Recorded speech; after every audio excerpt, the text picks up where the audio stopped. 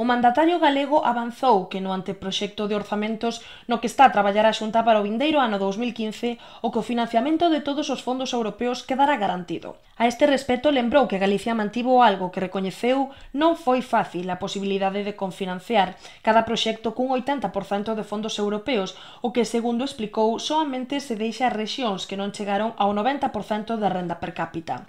De cara ao novo período 2014-2020, Feijó destacou que Galicia xa é unha rexión desenvolvida.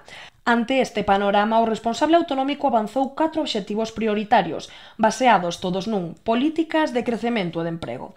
O titular da Xunta agradeceu novamente á Comisión Europea a invitación cursada a Galicia como único territorio do conxunto de España para estar presente neste foro. Así mesmo, precisou que esa política exixe rigor na xestión dos fondos e seleccionar correctamente os obxectivos dos mesmos.